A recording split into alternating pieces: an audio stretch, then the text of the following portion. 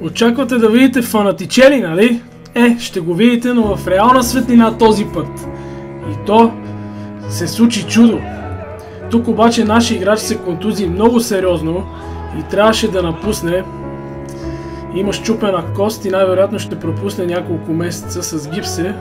Може би мислехме си в този момент, че няма да продължиме матча, но в крайна сметка го продължихме и тук направих резултата 4 на 3.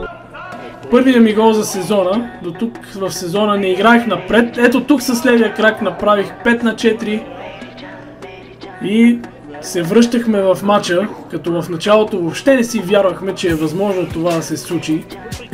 Тук ми подаваха добре, опитах се да прехвърля, не бях много далеч от целта. И сега трябваше да се бориме за нещо повече. Любомир Станимиров направи тази добра изява, добър прострелен пас и с левия крак отбелязах на празна врата. Изравних резултата две минути преди края и си повярвахме, че можем да направим и още нещо. Ето тук много добре ме изведе Иван Цекин. Показах добра скорост и хладнокръвно отбелязах. Просто нямаше какво друго да направя, освен да опитам да спечеля матча. И точно това се случи. Спечелихме с 6 на 5. Ето още веднъж гола. И накрая естествено се поздравихме с успеха, който в началото на матча изглеждаше изключено, че можем да го постигнем.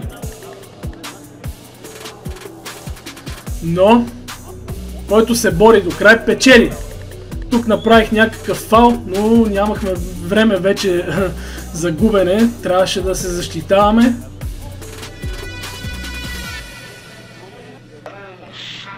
Те опитаха някакви изстрели до края и това е последния съдийски сигнал.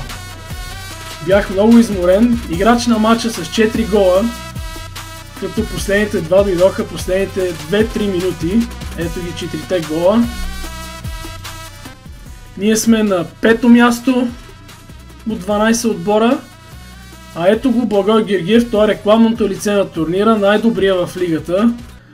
Неговия отбор е втори, за съжаление, има една загуба, но имат време да покажат още повече. Той е първи по голове и първи по асистенции в нашия турнир. Много силен турнир, София Премьер Лиг.